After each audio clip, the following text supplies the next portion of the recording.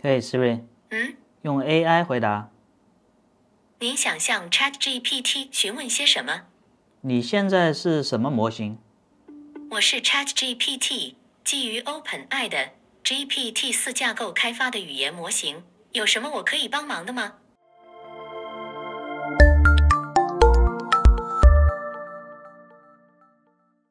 就这两天，ChatGPT 四 O 正式对所有人免费开放了啊！在这以前，如果你想把它加入到 Siri 中，还需要一些繁琐的操作和 OpenAI 的 API。虽然 iOS 十八已准备把脑残的 Siri 和 AI 进行整合，不过应该还不是一时半会的事儿。如果你也等不及呢，现在就有非常简单的办法可以免费让 Siri 整合 ChatGPT 功能，抢先体验 Siri AI 版本。好。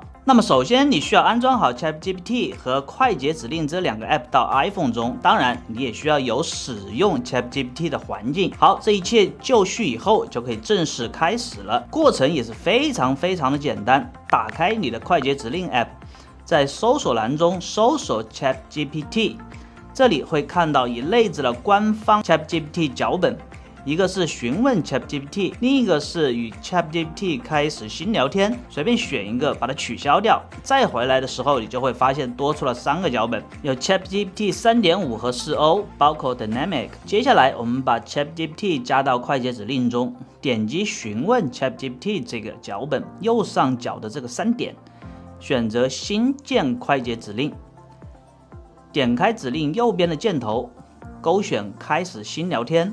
哎，这个时候就可以开始选择模型了。我们可以选择最新免费的 GPT 四 O，但它现在限制还是比较多啊。如果你用量很多的话呢，也可以选择三点五。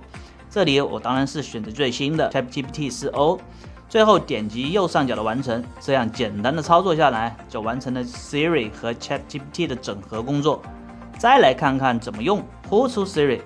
询问 ChatGPT，这样就是让 Siri 调用的 ChatGPT 了。比如，我们问问他现在是什么模型？你现在是什么模型？